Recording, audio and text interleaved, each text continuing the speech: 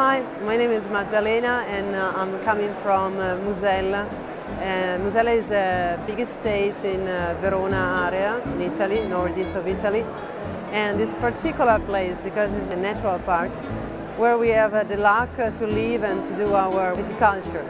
Ten years ago I started to have a, a great interest into the biodynamic uh, and so I was talking with my father about that and uh, he let me try every experiment I could do. And so after 10 years, everybody of us, our family, is very happy to get into, into this new viticultural system and in this new lifestyle that is the biodynamic.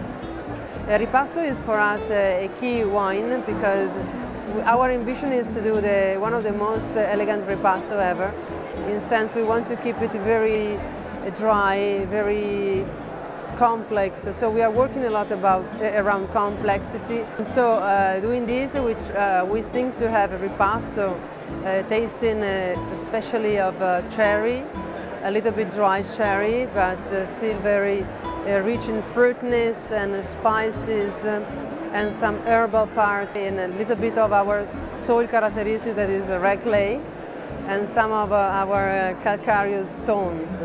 So the combination of these all together could make uh, something very pleasant to the, to the palate. I'm especially happy to be here, that's true, really true. Because I found uh, this group like a big family, really, and a lot of friendly people, open people, uh, people like to enjoy, and I'm very, I'm very happy to be part of this group. Uh, apart of the business, it's also a pleasure to stay here and to enjoy this moment. It is like a, more like a party than a serious and a, and a boring tasting. So we are really enjoying. I'm really enjoying. Everybody of us is really enjoying everywhere.